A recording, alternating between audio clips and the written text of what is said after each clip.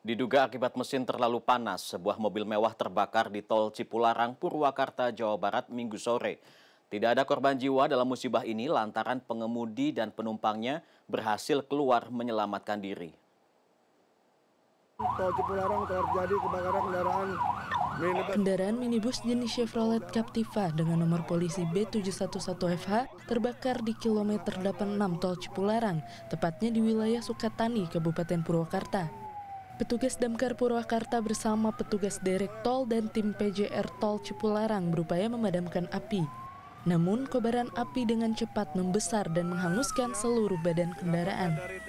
Musibah terjadi saat kendaraan melaju dari arah Jakarta menuju Bandung. Setiba di TKP, tiba-tiba kendaraan tidak kuat menanjak hingga pengemudi menepikan kendaraan. Kemudian terlihat kepulan asap dari kabin depan dan api langsung membesar. Diduga kebakaran terjadi akibat mesin terlalu panas atau overheat. Berdasarkan informasi dari korban, ia sempat melihat lampu indikator oli menyala. Ia pun mengaku jika perawatan atau servis kendaraannya tidak teratur. Demikian, melaporkan kilometer 86 arah ke Bandung itu tiga lajur. Kendaraan ini berjalan di lajur dua, menanjak.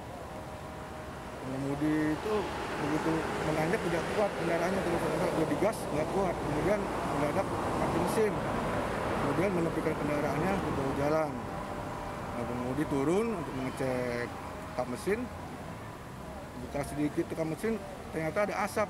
Makin lama ada api dalam kap mesin. Beruntung pengemudi bersama penumpang bisa menyelamatkan diri. Pengemudi diketahui bernama Fuad Harharah warga desa Jatisla, Kecamatan Gunung Sari, Kabupaten Lombok Barat. Sedangkan penumpang diketahui bernama Hairunisa, warga Pasarobo, Jakarta Timur. Insiden ini sempat membuat arus lalu lintas di tol Cipularang mengalami kemacetan. Dian Firmansyah, Kabupaten Purwakarta.